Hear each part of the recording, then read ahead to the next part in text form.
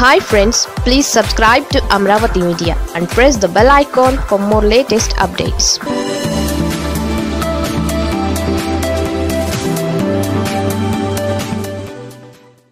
Badvel TDP ఓట్లు ఎవరికి? బద్వేల్ ఉప ఎన్నిక అనివార్యమైంది. ప్రధాన పార్టీలు బరి నుంచి తప్పుకున్నా ఎన్నిక జరగాల్సి ఉంది. బలం లేని పార్టీలతో బల ప్రదర్శన చేస్తోంది. సమ ఉజ్జీలు లేకపోవడంతో బద్వేల్ ఉప ఎన్నికల్లో వైసీపీ విజయం సునాయాసమైంది. బద్వేల్ ఉప ఎన్నికలో కాంగ్రెస్ బీజేపీలు పోటీ పడుతున్నాయి. వైసీపీ అభ్యర్థిగా దాసరి సుధా బరిలో ఉన్నారు. కాంగ్రెస్ తన అభ్యర్థిగా మాజీ ఎమ్మెల్యే కమలమ్మను ప్రకటించింది. ఇక్కడ రెండు ప్రధాన జాతీయ పార్టీలకు ఓటు బ్యాంక్ లేదు. దీంతో వైసీపీకి ఏకపక్ష విజయమే. అయితే ఇప్పుడు తెలుగుదేశం జనసేన ఓటు బ్యాంక్ ఇటువైపు మరలతాయన్నది ఆసక్తికరంగా మారింది. తెలుగుదేశం పార్టీ జనసేన బద్వేలు ఉప ఎన్నిక నుంచి తప్పుకున్నాయి. ఇక్కడ ఒక టీడీపీయే బలంగా ఉంది.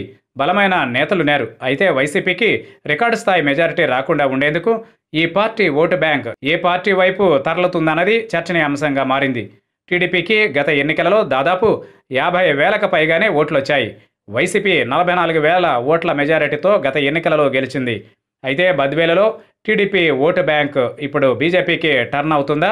లేక కాంగ్రెస్ వైపు మొగ్గు చూపుతుందా? అన్నది ఆసక్తికరంగా మారింది. తెలుగుదేశం పార్టీ స్థానిక నాయకత్వం లోపాయకారిగా ఈ ఎన్నికలలో ఒక నిర్ణయం తీసుకునే అవకాశం ఉంది. కొందరు నేతలు కాంగ్రెస్కు మద్దతు ఇస్తేనే మంచిదన్న అభిప్రాయం వ్యక్తమవుతోంది.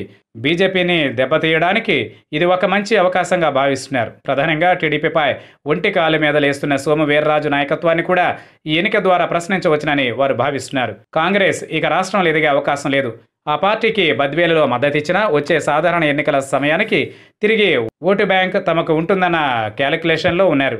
తమ కేడర్కు త్వరలోనే ఏ పార్టీకి ఓటు వేయాలన్న దానిపై పరోక్షంగా స్థానిక నాయకత్వం సంకేతాలు పంపుతుందంటున్నారు. మొత్తం మీద టీడీపీ ఓటు బ్యాంక్ బద్వేలు ఉప ఎన్నికల్లో కాంగ్రెస్ వైపు వెళుతుందన్న టాక్ కడప జిల్లా సోషల్ మీడియాలో వైరల్ అవుతోంది.